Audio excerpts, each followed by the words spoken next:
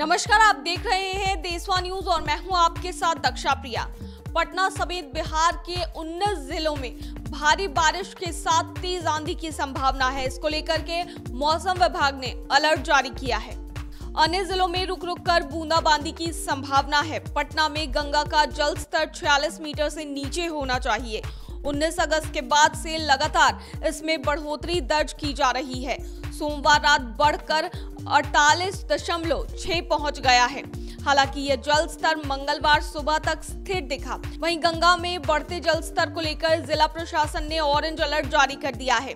आंधी और बारिश की संभावना वाले जिलों में पटना गया जहानाबाद भोजपुर नालंदा नवादा सारण सिवान पूर्वी चंपारण पश्चिम चंपारण सीतामढ़ी शिवहर मुजफ्फरपुर मधुबनी, दरभंगा, सुपौल, किशनगंज और बक्सर शामिल है। बिहार के बाकी जिलों में रुक रुक कर आंशिक रूप से बादल छाए रहेंगे। इन जिलों में बीच बीच में हल्की बूंदाबांदी भी देखने को मिल सकती है। मंगलवार को बिहार का तापमान 27 से 36 डिग्री रहने की उम्मीद है। लोगों को धूप से राहत तो मिलेगी, पर उमस भरी गर्मी लोगों को कुछ परेशान करेगी।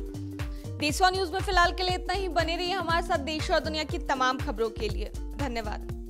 देशवा न्यूज़ पर वीडियो देखने के लिए लाइक करें, सब्सक्राइब करें। साथ ही बेल आइकन दबाना न भूलें।